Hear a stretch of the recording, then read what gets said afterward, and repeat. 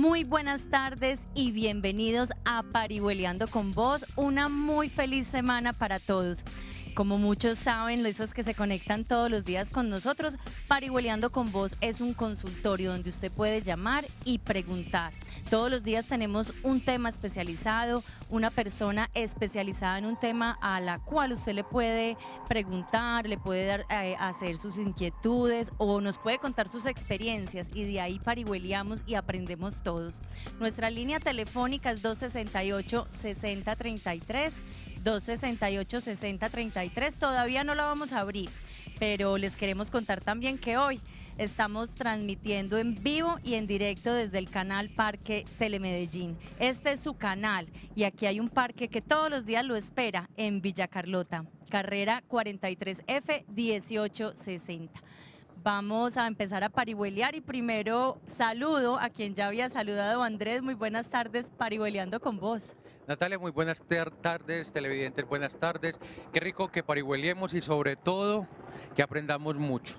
Aprendamos, pero que también seamos muy conscientes de que este espacio de consulta, como lo dice Natalia, es simplemente también de abrebocas para que seamos responsables y no reemplacemos las consultas médicas o, por ejemplo, como en este caso, oftalmológicas, pero sí nosotros sentimos una responsabilidad con ustedes para generarles muchas veces esas alertas para que sean más conscientes y responsables con su cuidado. El autocuidado es muy importante en nuestros hogares y más en temas de salud. Entonces, con este llamadito que les estamos haciendo, quiero saludarlos, darles una calurosa bienvenida aquí como lo hace Natalia y pues también eh, les vamos a contar que ustedes son parte fundamental de este programa, no solamente como televidentes, sino como los proponentes del programa.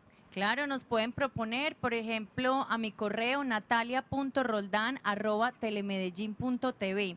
Se los doy con todo el cariño porque de verdad son ustedes los que nos pueden decir a nosotros, Natalia, es que necesitamos hablar de un trastorno en, particular o estamos sufriendo de una enfermedad o necesitamos que un abogado nos hable de esto. Entonces, estamos atentos a ayudarle y a servirle a su comunidad. Simplemente escríbanos, le repito el mío, natalia.roldan.telemedellín.tv. El suyo, Andrés. Ahora sí, es que yo ya me había quedado preocupado porque en el primero no hiciste la B que tanto me gusta. Ahí te la voy copiando, es que se ve bonita. El mío es andrés.rengifo arroba telemedellín. ¿Cómo es que es Natalia? TV. Andrés.rengifo arroba telemedellín.tv de televisión.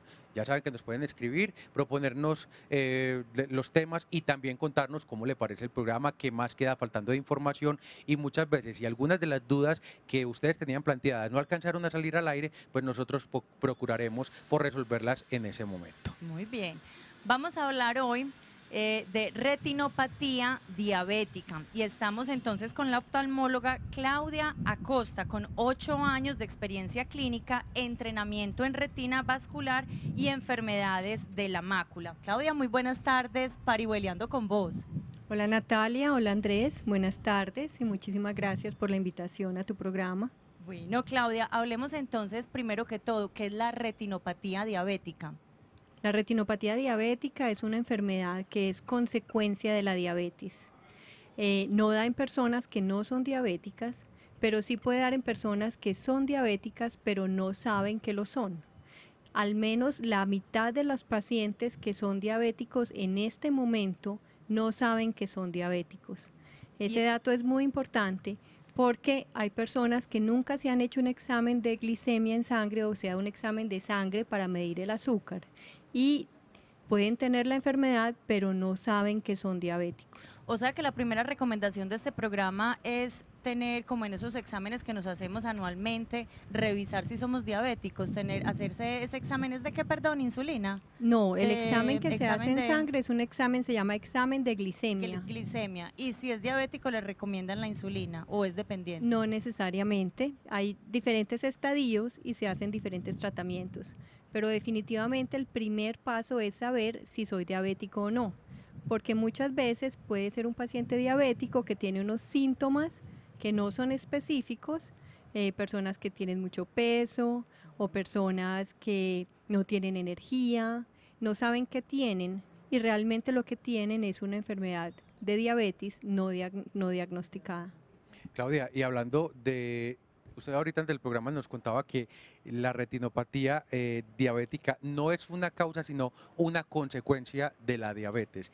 En ese caso, como lo acaba de mencionar usted, las personas que todavía no tienen un diagnóstico de su enfermedad, que sería la mitad de, las, de la población que todavía anda por ahí caminando y no lo sabe todavía, esta retinopatía sí podría ser una de las maneras de darse cuenta que, que padece esta enfermedad. Por supuesto, la retinopatía diabética puede ser el primer signo de diabetes y no es inusual que en el consultorio veamos pacientes que llegan por un sangrado en el ojo o problemas visuales y cuando los examinamos vemos los síntomas de la diabetes, les pedimos el examen y en efecto es un paciente diabético.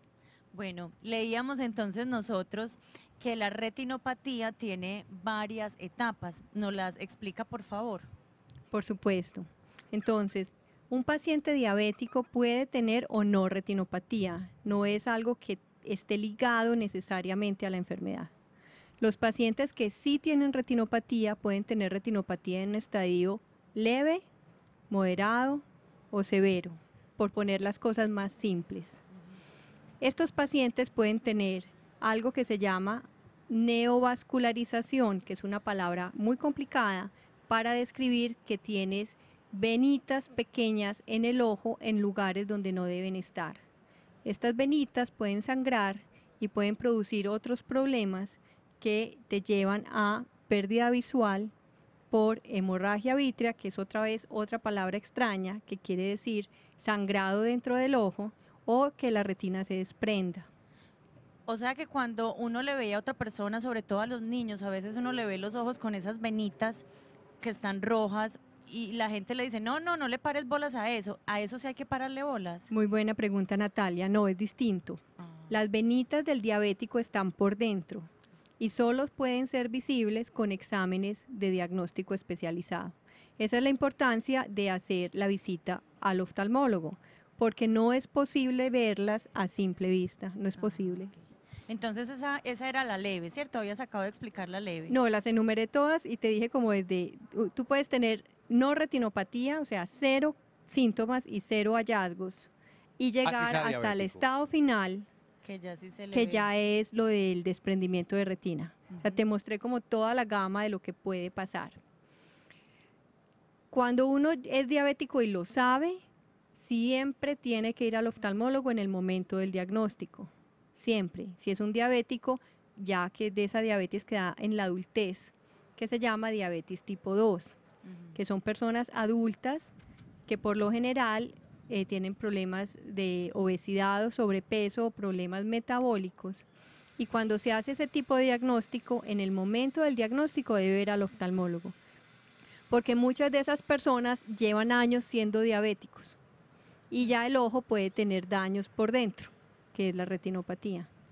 Cuando eres un diabético niño, como los niños que nacen con el problema de diabetes, que es un diabético tipo 1, diabéticos jóvenes. Todo lo estoy simplificando para hacerlo más comprensible. Esas personas ya el doctor les va a indicar cuándo deben ir al retinólogo, pero pues lo ideal es que lo hagan en el momento del diagnóstico o no dejen pasar más de cinco años después del diagnóstico.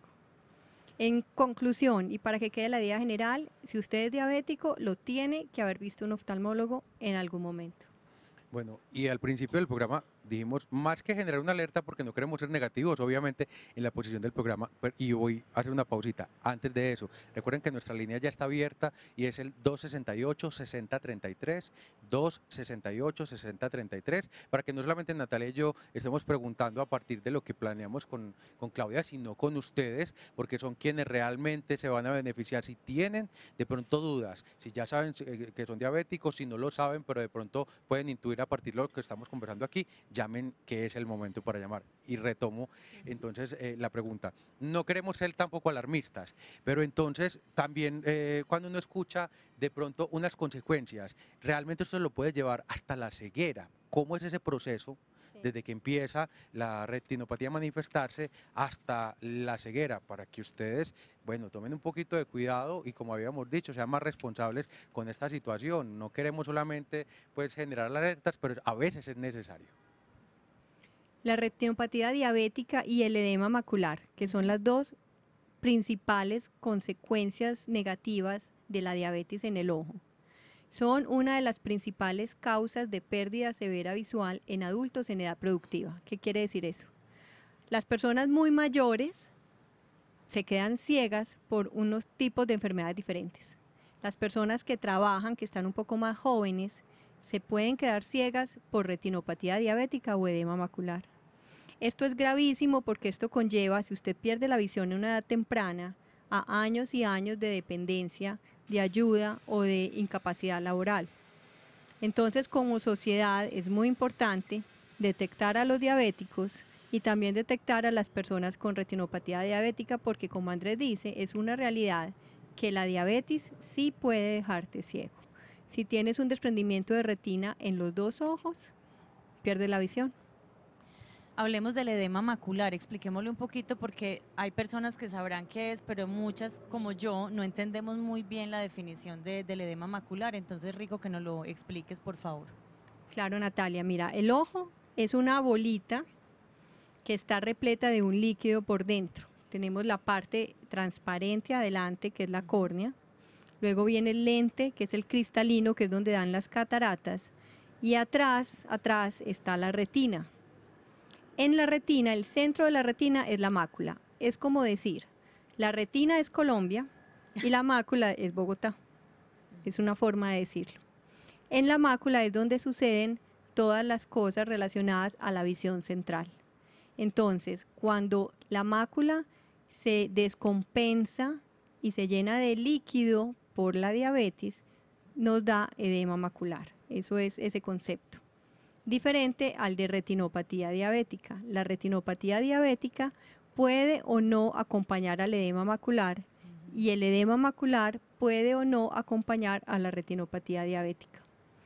Entonces, la retinopatía diabética es cuando en el resto de la retina, ya no solo en Bogotá, digámoslo así, no solo en la mácula, hay alteraciones vasculares que causan sangrado, distorsión, y pueden llevar en final a un desprendimiento de retina. Bueno, cuidemos nuestros ojos, cuidemos nuestra salud. Ya vemos en nuestro primer llamado es eh, el examen para saber si somos diabéticos y si somos diabéticos tenemos que ir donde un oftalmólogo. Ya volvemos a Parihueliando con vos después de este corte de mensajes institucionales.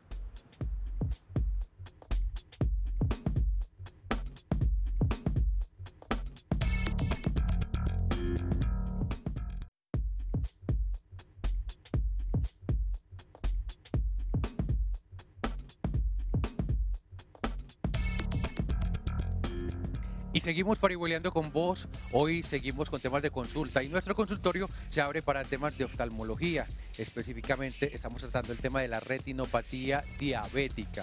Hoy estamos invitándolos a ustedes a que nos llamen a la línea telefónica 268-6033, como lo hace John Jaime Arango desde Sabaneta. John Jaime, bienvenido y qué rico que estemos parihueleando. Muy buenas tardes y muchísimas gracias. Eh, mi pregunta básicamente para la doctora, yo soy diabético, insulino dependiente, eh, ya me hicieron el examen y, no, el examen pues no me arrojó problemas, es la retinopatía, pero eh, tengo variaciones, yo uso lentes y tengo variaciones en la visión, o sea, hay momentos que veo muy bien con los lentes y hay momentos que los lentes parece que no me sirvieran. Entonces yo quisiera saber si eso tiene que ver una cosa con la otra o cómo o cómo es el, tema desde la, desde la parte oftalmológica. Gracias. Yo, Jaime, no, muchas gracias a usted por interesarse en estos temas y síganos llamando a Parihueleando, que de verdad que este programa es el espacio para que ustedes resuelvan todas sus inquietudes. Y mientras usted le resuelve, Claudia, yo le voy a servir cafecito. Ya me dijo que sin azúcar para evitar la diabetes. Entonces, Claro que sí, muchas gracias. John Jaime, excelente pregunta. Es muy importante porque el diabético no solo sufre de retinopatía diabética y edema macular. El diabético puede tener muchos trastornos visuales, entre ellos glaucoma, catarata o problemas refractivos. Y los síntomas que usted relata son muy relacionados a, los, eh, las subidas y bajadas del azúcar en la sangre.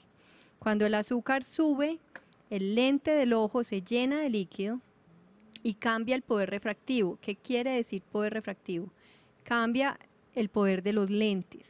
Entonces, si usted usa lentes, los lentes que está usando temporalmente dejan de funcionar. Entonces, las fluctuaciones de visión son muy, muy frecuentes en diabéticos y se relacionan a fluctuaciones en el nivel de glicemia en sangre.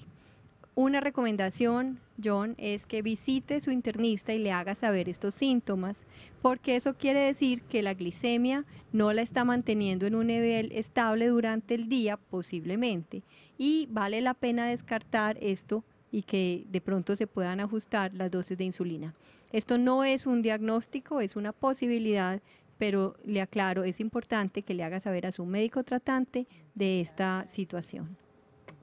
Eh, ¿Qué otras recomendaciones se le pueden dar a, John? ir donde el internista, pero además también entonces otra revisión con el oftalmólogo o el internista primero debe descartar estas fluctuaciones. Yo creo que ambas cosas son eh, deben ir, sí, deben ir simultáneas. Eh, John es un paciente que ya tiene su tratamiento médico, su diagnóstico, ya maneja su insulina. no sé si a John lo ha visto el oftalmólogo en el último año porque la recomendación es que todos los diabéticos, así no tengan retinopatía o edema macular, tengan una evaluación anual. ¿Para qué? Para descartar la presencia de nuevos diagnósticos, la aparición de un problema de retina o la aparición de glaucoma y catarata. Entonces, si hace más de un año yo no ha visitado a su oftalmólogo, mi recomendación es que es el momento para hacerlo. Nos llamó la atención ahora cuando Andrés le ofreció el café porque usted inmediatamente dijo, sin azúcar porque me debo cuidar, porque la diabetes, eh, pues hay mucha gente que lo está sufriendo, mucha gente la tiene y no lo sabe. Y usted cuando hablamos antes del programa nos recomendó que este fuera el tema, es que estamos sufriendo mucho de diabetes, eh, le están consultando mucho por retinopatía eh, diabética. La diabetes es la gran epidemia de la modernidad. La cantidad de diabéticos asociado a sobrepeso en los países eh, del norte, principalmente de Estados Unidos, es alarmante. Pero tristemente los hábitos de vida que tenemos en Colombia se acercan cada vez más a estos países.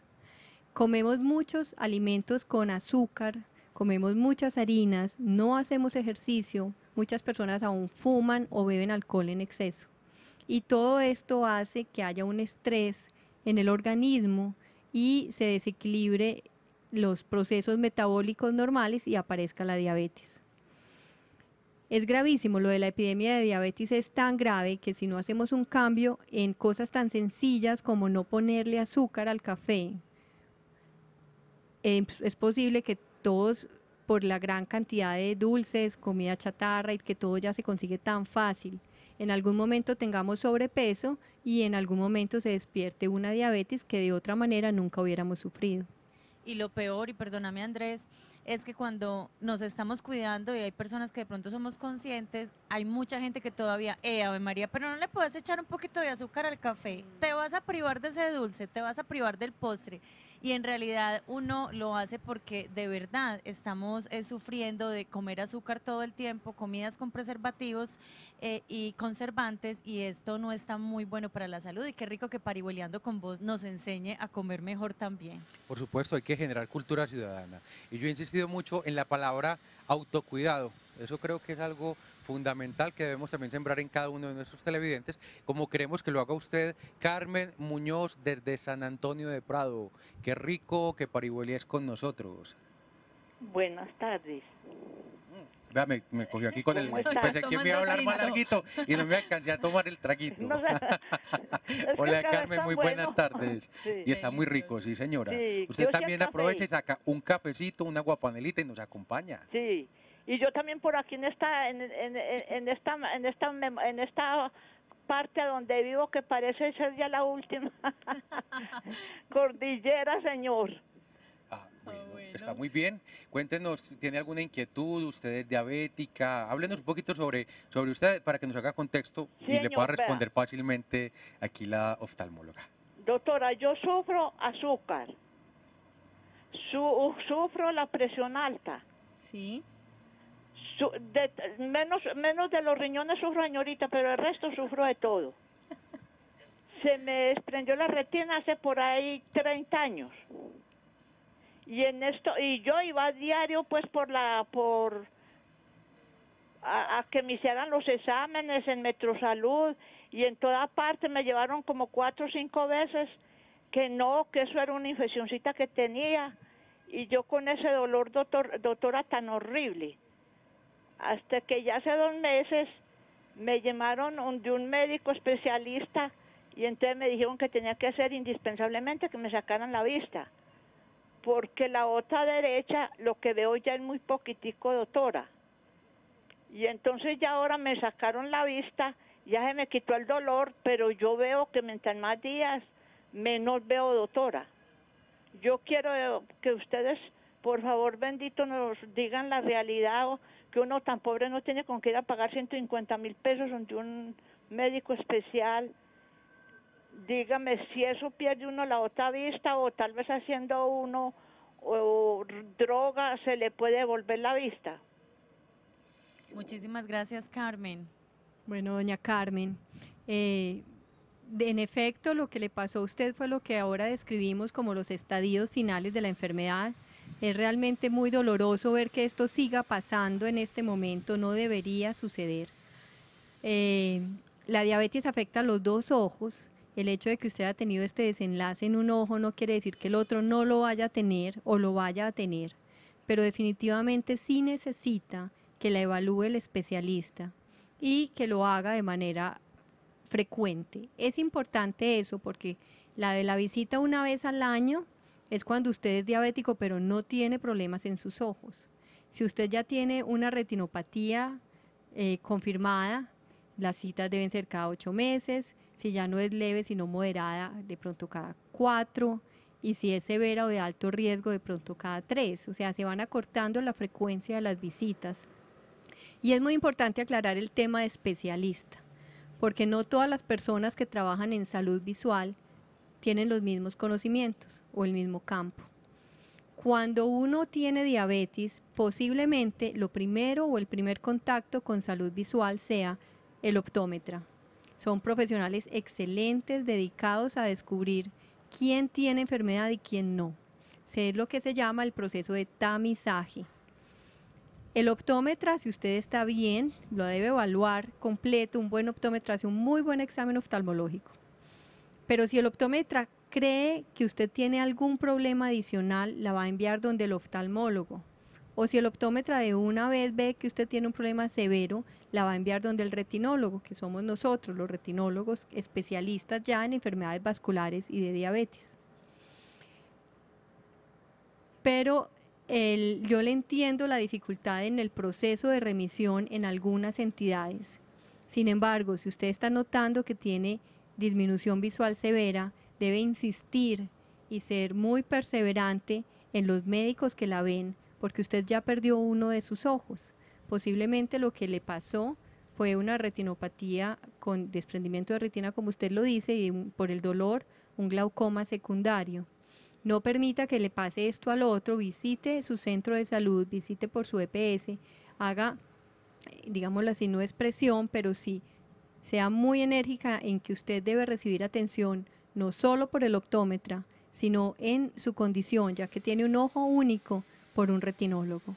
Eh, no, doña Carmen, en realidad no es ni siquiera, no es solamente que usted lo tenga que expresar ni furiosa ni acelerarse allá con los médicos, sino que si no le hacen caso en la EPS puede visitar eh, a las universidades donde tengan universidades de derecho como la Universidad de Medellín. Ellos le pueden ayudar a hacer una tutela para que usted tenga todos los servicios y no pierda su otro ojo. Entonces, doña Carmen, muchísima atención porque usted no puede quedar eh, eh, ciega en este momento tome de verdad cartas en el asunto y le recomendamos, aquí hemos tenido abogados en Parihueleando con vos, la tutela es una manera muy fácil de pues, que le solucionen este problema. Muy bien esa recomendación. Insistimos en que este es un espacio no solamente de consulta ciudadana, sino que ustedes resuelvan todas las inquietudes, no solo sobre el tema relacionado, sino que si lo podemos eh, ligar a otros servicios eh, que ustedes requieren como ciudadanos, pues por supuesto aquí lo los estamos haciendo con las recomendaciones. Y uno escucha estos casos como el de doña Carmen y uno dice, bueno, en primer lugar esperamos pues que pueda solucionar esa situación que es bastante compleja y escucha también el caso anterior de John Jaime y dice, bueno, todavía la situación de él pues es una situación más ligera. Eso quiere decir, en dos casos tan eh, diferentes, en extremo diferentes, eh, hay todavía esperanzas, hay todavía la posibilidad de hacer algo por estos pacientes que ya han sido diagnosticados con la retinopatía. ¿Esos eh, tratamientos son efectivos, eficientes o son de pronto para ellos como pañitos de agua tibia? Por ejemplo, en el caso de doña Carmen. No, por supuesto que hay tratamientos. En diabetes, cuando se hace el diagnóstico temprano, el pronóstico puede ser muy bueno. Hay enfermedades muy agresivas y así se haga todo y así se haga con todas las medicinas, eh, láser, cirugías, a veces, porque los humanos somos así, el organismo no responde. Pero lo, el deber ser es que cuando se hacen los tratamientos adecuados, el paciente conserve su, su visión toda su vida. Y lo que tú decías es muy importante, el espectro de la enfermedad, las presentaciones de la enfermedad son muy amplias. Hay personas totalmente sanas que por más diabetes que tengan nunca hacen daño en sus ojos. Y hay historias como las de doña Carmen que son muy tristes y que lamentablemente llevan a pérdida del órgano del ojo. Bueno, estamos parihueleando con vos y estamos hablando de retinopatía diabética con la oftalmóloga Claudia Costa. Ya volvemos después de este corte de mensajes institucionales.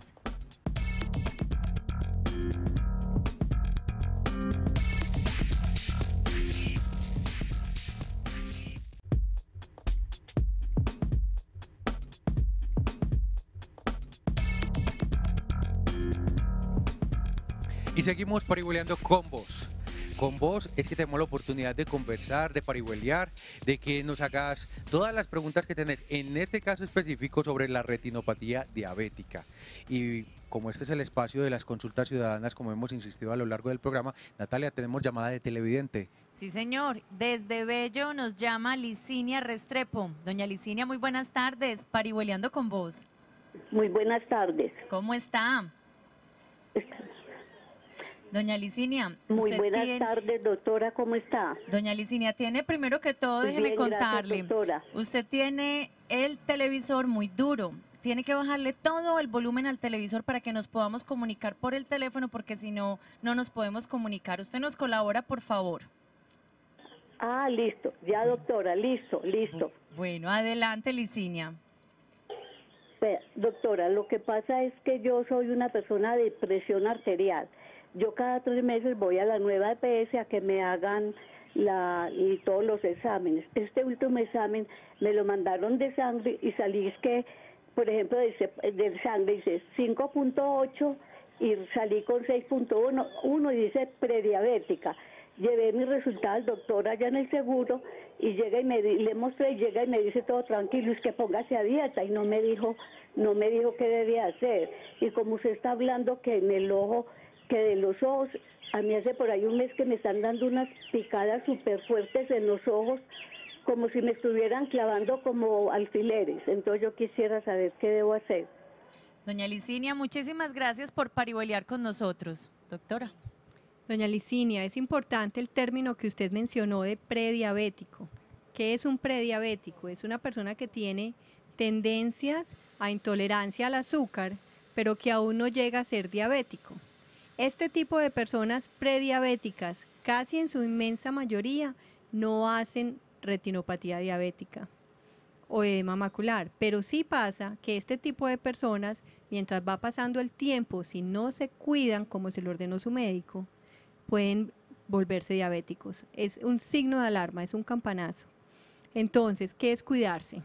Lo habíamos dicho ahora con Andrés, evitar el azúcar, comidas dulces o el azúcar refinado, evitar eh, comer muchas harinas, a todos nos encanta el pastel de arequipe, pero eso es pues una, una bomba mortal.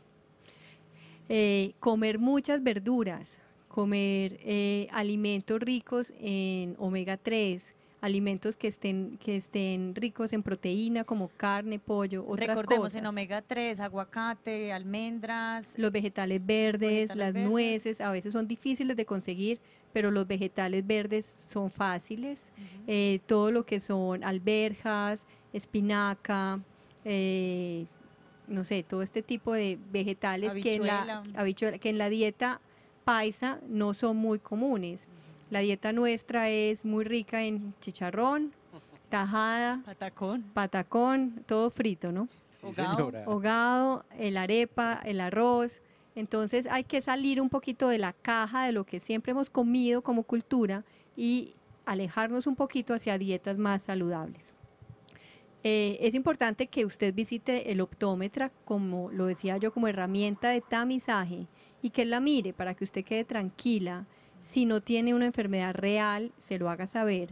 Pero los síntomas que usted refiere son también muy comunes en mujeres mayores de 40 años, no necesariamente relacionado a la diabetes. Y es que puede tener un ojo seco o un problema de superficie, que igual necesita que la vea el oftalmólogo. Entonces la recomendación vuelve a ser la misma. Si usted no se siente bien, debe ir al oftalmólogo, importantísimo. Además, así tenga, digámoslo, una prediabetes diagnosticada por su médico, es posible y necesario una segunda opinión porque un solo examen de laboratorio, uno solo, no le va a diagnosticar a usted una diabetes. La deben seguir evaluando. Bueno, y así como ya estamos utilizando casos específicos, vamos a poner en práctica los ejemplos de lo que podría encontrar un paciente. Por ejemplo, doña Licinia se va a realizar unos exámenes porque ella dice, bueno, ya, le dijeron que eh, no es prediabética, sino diabética, que no queremos que sea así, pues doña Licinia, pero para que lo tengamos. ¿A qué se tendría que enfrentar ella? ¿Qué posibilidades de exámenes encontraría? Y, cómo debe ser la preparación para cada uno de ellos. Porque muchas veces nosotros asistimos a los exámenes a ciegas, valga pues aquí como el contexto, pero en la vida real y uno no, no sabe a qué se va a enfrentar cuando está en estos casos y son muchos los exámenes a los que se puede remitir. Bueno, entonces yo creo que a muchos les ha pasado que van al doctor y les dan una orden para un examen. Esa orden de examen por lo general siempre tiene un nombre muy raro y no les explican bien o ustedes no entienden cuando se les explica porque la explicación también es complicada. Entonces vamos a ir uno por uno.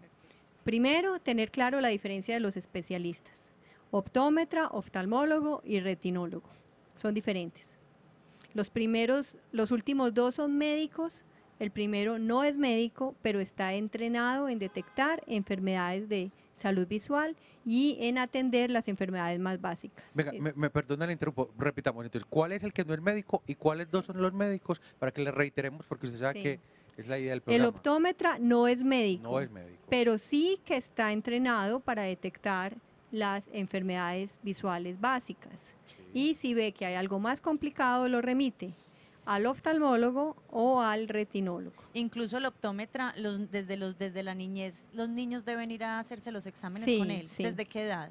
Eh, pues esto ya es variado. Un niño que no tiene ningún síntoma, ningún síntoma, tiene que ser evaluado, tiene antes de los tres años. Lo ideal es llevar el niño cuando tiene aproximadamente un año al oftalmólogo, el optómetro. Sí. Muy bien. Bueno, para volver al tema de los exámenes diagnósticos, el oftalmólogo es el que los va a ordenar. Es absolutamente inapropiado que el paciente llegue pidiendo el examen, porque cada examen sirve para algo diferente. Entonces, un examen al azar no va a servir de nada, debe estar en un contexto de la sintomatología de la historia clínica del paciente. Pero vamos a decir más o menos qué exámenes se manejan. Entonces, el examen más sencillo es el examen de fondo de ojo que hace el oftalmólogo o el retinólogo en el consultorio. Te van a dilatar la pupila. ¿Eso qué quiere decir? Que le ponen unas gotas en el ojo. Esas gotas hacen que la pupila, que es la niña del ojo, se haga más grande y usted no va a ver bien. Entonces, a ese examen debe ir acompañado. Cuando vayan a una cita al oftalmólogo o al retinólogo, siempre traten de ir acompañados, porque puede que algunas veces no pase, pero si les dilatan la pupila, ustedes van a ser incapaces de regresar a sus casas, por ejemplo, usando el servicio de transporte público o manejando un carro, peor. Entonces, ese es el primero. El segundo sería ya los estudios de imagen. Los estudios de imagen más comunes son la tomografía de, tomografía de coherencia óptica, que es el OCT, eh, la angiografía, la fotografía de fondo de ojo y la autofluorescencia. Todos estos son exámenes que se realizan en clínicas especializadas, son exámenes que son muy costosos, pero que dan mucha información al profesional. Para todos estos exámenes también es necesario dilatar la pupila. Pero son muy costosos, pero están cubiertos para la EPS. Sí, acuérdense que nosotros tenemos en Colombia la fortuna y en Antioquia más, porque hay muy buenos servicios de EPS y de IPS también, de tener cubrimiento casi universal en salud. Entonces, esos exámenes, en su inmensa mayoría, o yo diría todos, si no están, eh, no, si no están en el POS, se cubren por el proceso de no POS. Claudia, hay más exámenes, pero antes eh, hay más, entonces vamos a pausar en este momento porque vamos con llamada de televidente de Claudia Londoño desde Envigado y luego nos sigue respondiendo con los diferentes. Claudia, muy buenas tardes, parihueleando con vos. Muchas gracias.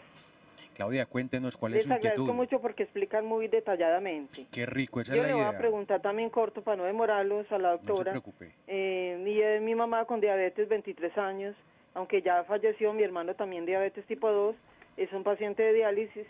Yo fui donde el oftalmólogo con miedo porque muchos dolores muy fuertes en ambos ojos. Él me revisó, me dijo que no, y en los exámenes de sangre resulté que no soy diabética, pero con esos antecedentes pues tenía mucho miedo y también del glaucoma, él me examinó y me dijo que no, pero los dolores medios se calmaron con las goticas que me mandó, pero aún así yo tengo mucho miedo porque también eh, sufro de la tiroides bajita y el oftalmólogo me dijo, no, ese dolor que tenés por el ojo seco, te va a mandar gotas, pero que ese es problema de, de las mujeres con menopausia, yo tengo 50, 56 años. y quería preguntarle también a la doctora, es... Mm, que yo sepa, eh, ya me había dicho otro oftalmólogo hace muchos años, ah, el ojo seco es por la tiroides bajita. Entonces quería saber si, si tiene alguna complicación con la diabetes o simplemente por la tiroides bajita o la menopausia, el ojo seco, porque sé también que el ojo seco eh, desata pues como otras enfermedades si uno no atiende. Él me mandó gotas por tres meses, me las estoy echando, sí se calmaron los dolores, no del todo, y quería saber más si tiene que ver con diabetes, con la tiroides bajita, que, qué más puedo pedir por lo del ojo seco, si ya gotas de por vida o qué. Claudia, en primer lugar, muchas gracias por compartirnos esa información tan detallada. Y en segundo, pues la invitamos a que siga llamándonos siempre a Parihueleando. Este es el espacio de ustedes y también le deseamos que pueda solucionar todas esas afectaciones de salud. Un fuerte abrazo para usted y Claudia, yo creo que ya tenemos información suficiente para responderle. Claudia, bueno, hay dos cosas que me gustan mucho en tu pregunta. La primera es que usaste la palabra miedo varias veces. Y es muy importante porque cuando se hacen programas de promoción y prevención en la población general, muchas personas no asisten porque les da miedo que les encuentren algo. Y esto es fatal. Cuando uno tiene miedo de encontrar una enfermedad y decide negarse y hacer una negación, y no asiste a los servicios que están disponibles en esta sociedad. Sabían que más de un 25% de las personas que en nuestra clínica se citan para hacerle el examen completo con fotografía de fondo de ojo, para saber si tienen problemas de diabetes. Siendo diabéticos, no asisten. O sea, teniendo el recurso, teniendo la mejor clínica, teniendo los mejores especialistas, teniendo todo, no asisten. Y la razón por la que no asisten es porque sienten miedo. Miedo de que les digan algo. En su caso es distinto porque usted lo que siente es miedo de tener algo y no saberlo, y eso es muy valioso. El doctor que la examinó le dijo o le diagnosticó un ojo seco. Los síntomas que usted refiere coinciden perfectamente con el diagnóstico de ojo seco. Y sí, el ojo seco es más común en mujeres alrededor de la menopausia o en personas con trastornos de las hormonas tiroideas. Sin embargo, si usted quiere una segunda opinión, es importante que consulte de nuevo y recordar que los ojos no solo duelen por los ojos, sino que hay otras enfermedades que hacen que duela la cabeza alrededor de los ojos. Entonces, si usted es hipertensa o si tiene problemas de tiroides, es muy importante también que la revise el internista, porque otras patologías que no son necesariamente oftalmológicas pueden producir dolor en esta área y ser la causante de sus síntomas. Sin embargo, como usted ha mejorado con las gotas, es posible que sí sea simplemente un ojo seco. Muy bien, estamos hablando de retinopatía diabética en Parihueliando con vos. Ya volvemos después de este corte de mensajes institucionales.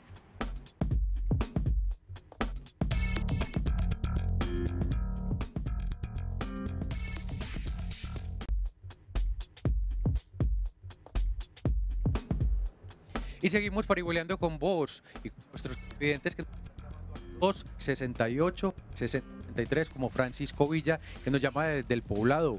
Francisco, muy buenas tardes, bienvenido y qué rico parihuelear con nosotros. Buenas tardes, ¿cómo está? Nosotros muy bien, muy bien. Permítame un momentico que por aquí estoy acomodándome. Ahora sí, cuénteme. Bueno, quiero hacer una consulta a la doctora. Por supuesto. ¿Cuál es la consulta? Sí, don Francisco, Doctora, buenas tardes. Muy buenas tardes, Francisco. Tengo 89 años. Tengo una enfermedad que, según mi oftalmólogo, se llama degeneración macular. Sí. Y quiero preguntarle si eso tiene algún tratamiento. Ellos me dicen que no tiene ningún tratamiento, ni con drogas, ni con cirugía, ni con gotas, ni con nada. Pero entonces quiero ampliar de pronto mis conocimientos con su experiencia. Muy bien, don Francisco. La retinopatía, eh, perdón, la degeneración macular, el apellido es relacionada con la edad. Es una enfermedad degenerativa de la mácula. Es una enfermedad que se presenta después de muchos daños de un, muchos años de un daño progresivo y hace que las células visuales se degeneren. Hay dos tipos de degeneración macular. Está la degeneración macular seca y la degeneración macular húmeda. Yo no diría que no hay tratamiento. Lo que pasa es que en muchos casos de degeneración macular seca no hay ninguna cirugía o alguna droga que se pueda poner en el ojo que le pueda ayudar. Lo único que uno puede hacer en esos casos es evitar la radiación del sol con lentes especiales, alimentarse muy bien, como lo decíamos ahora, también aplica lo del omega 3 y de las ceosantinas y de todos los vegetales y todas las cosas verdes que pueda comer. No fumar, porque el hecho de haber fumado empeora la degeneración.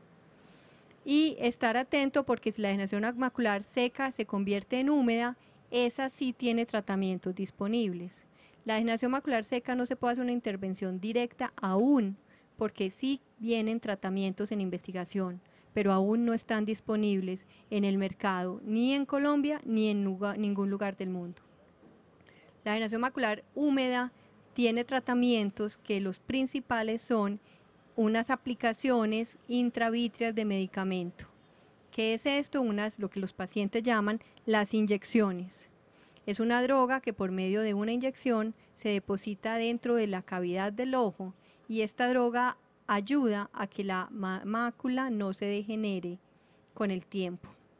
Entonces depende, don Francisco, si su degeneración macular es seca o húmeda, posiblemente seca y por eso su doctor no ha hecho ningún tratamiento invasivo en el ojo. Natalia, ahorita teníamos un pendiente y es hablando de las etapas de la retinopatía diabética la cuarta, la más avanzada, la retinopatía proliferativa. ¿Recuerdas que teníamos todavía eso aquí para que creo que es el momento que lo desarrollamos en este último segmento del programa con, Claudia? Cuando me refería a los pequeños vasitos que crecen en la parte de atrás del ojo, la palabra técnica es retinopatía proliferativa. Es el estadio final, es la retinopatía proliferativa severa y el final de todos es con desprendimiento de retina. Es una fase muy triste porque eh, si no se hacen los tratamientos adecuados puede llevar a la pérdida visual irreversible. ¿Cuáles serían esos tratamientos? Creo que es la pregunta que sigue, ¿cierto? Sí, señora. Para allá se contestó solita. Bien pueda, Claudia. Bueno, entonces eh, cuando un paciente tiene una retinopatía diabética y un edema macular, empieza a tener opciones terapéuticas. Para, voy a empezar por el edema macular. Cuando un paciente tiene edema macular, se puede realizar unas aplicaciones de medicamentos intravitreos, que son unas medicinas que se ponen dentro del ojo. Hay de varios tipos y estas medicinas hacen que el líquido extra que no debería estar en la mácula, digámoslo así, de alguna manera coloquial, se seque y la visión se recupera y se evita la pérdida visual progresiva. Estas inyecciones o estos medicamentos también producen que esos pequeños vasitos que crecen atrás del ojo retrocedan. Y se vio en los estudios clínicos que los pacientes a los cuales se les trataba el edema macular con estas inyecciones también tenían una regresión del estadio, eso es lo que nosotros, como nosotros lo llamamos, una regresión del estadio de retinopatía diabética proliferativa a una no proliferativa. Entonces las inyecciones sirven para ambas cosas, el edema macular y la retinopatía diabética proliferativa. O sea que sí hay esperanza con nuestros Total, por supuesto de reversar la enfermedad. También tenemos el láser, y hay varios tipos de láser, está el láser convencional y el láser de micropulso, que es una forma nueva de láser, y esto puede ser aplicado tanto en el edema macular como en la retinopatía diabética proliferativa. Y este, y este trabajo láser, esta, ¿esto es operación, es con anestesia o es una cita y no tienen que volver? ¿Son, no, los láseres modernos no necesitan anestesia, a no ser las goticas que ponemos en el ojo. El paciente está absolutamente despierto, consciente, con su propia ropa, no tiene que entrar a quirófano. Y el láser son equipos muy, muy sofisticados que producen unas pequeñas quemaduras en la retina y estas quemaduras disminuyen, digámoslo así, las necesidades metabólicas del ojo y los vasitos regresan. Bien, tenemos otra llamada desde Castilla. Luis Alberto Barrera, muy buenas tardes, parihueleando con vos. Sí, muy buenas tardes. Adelante. Eh, yo quiero preguntarle una preguntita a la doctora que está ahí. Yo llevo 15 años que soy diabético. Eh, pues nos, me dieron tres bajones de azúcar y yo iba a eso, quedé con unas, como con unas cosas así en la cabeza debido a, esas cosas que me dieron. Y, y pues últimamente este año se me calienta mucho la cabeza, no sé si es que también tiene que ver los ojos de eso, o que, ¿por qué era? Porque yo fui al médico y me dijo que es que los diabéticos, que es que también sufren de neuralgia. Ah, muy bien. Muchas gracias, don Luis, por parihuelear con nosotros, Claudia. Don Luis, la diabetes ataca varios órganos blancos. Los órganos blancos son los ojos, como lo hemos venido conversando toda esta tarde, pero también están los nervios, el riñón, el corazón y hasta la piel. Hay personas que tienen úlceras en las piernas que no les cicatriza y esto es por un daño a nivel microvascular causado por la diabetes. También hay personas que tienen daño en sus nervios, como el caso suyo puede ser, aunque repetimos, esto no es un diagnóstico, es solo una orientación, pero eso sí puede producir los síntomas que usted tiene de calentamiento en algunas áreas de su cabeza. Entonces hay que recordar que la diabetes no es solo una enfermedad del azúcar, no es un laboratorio anormal. La diabetes es una enfermedad que ataca todo el cuerpo de manera progresiva. Puede dañar el riñón y producir una insuficiencia renal, puede dañar el corazón y producir un infarto, puede dañar las, los, los pies y producir una necrosis o un daño una pérdida de los deditos y, y ese tipo de estructuras, o puede dañar los nervios. Entonces, sí, la respuesta es, es posible que los síntomas que usted tenga no tengan ninguna relación con su ojo como órgano, pero sí tienen relación con la diabetes. Tal vez me vuelva reiterativa en parihueleando con vos, pero si tenemos buenos hábitos, buenos hábitos de alimentación, comer verduras, comer eh, sano y hacer ejercicio nos puede servir para salvarnos de muchísimas enfermedades. En este caso, la alimentación también es muy importante para estar mejor, no tener diabetes y no tener retinopatía eh, diabética. Por supuesto, por supuesto, Natalia, y precisamente por eso, porque nosotros estamos hablando siempre de responsabilidad y autocuidado, hay que sacar algunas conclusiones de todo lo que hablamos en este programa. Y es algo muy cortico porque estamos cerrando el programa ya, se nos fue rápido, Claudia. No volando. Las conclusiones entonces que debemos sacar ya para finalizar. Las conclusiones son visite su oftalmólogo, revísese normalmente para saber si usted es diabético o no. Si usted ya sabe que es diabético, siga las instrucciones de su médico. Eh, aliméntese bien, esa es la más importante. Y haga ejercicio. No se trata de ser atletas olímpicos. pero el solo hecho de guardar el carro o no coger el bus para ir a hacer una vuelta, sino ir caminando, eso ya es importante. Entonces tenga hábitos de vida saludable, evite el sedentarismo, aliméntese bien y consulte si tiene alguna duda o algún síntoma. Claudia Costa, oftalmóloga, muchísimas gracias por parihuelear con nosotros. Muchas gracias Natalia, muchas gracias Andrés y muchas gracias a los televidentes. Sí, señora, a los televidentes, que los esperamos aquí todos los días a las 4 de la tarde para que resuelvan sus inquietudes y sigan pariboleando con nosotros. Eso sí, no se pierdan nada de la programación de Telemedellín. 20 años con vos. Feliz tarde.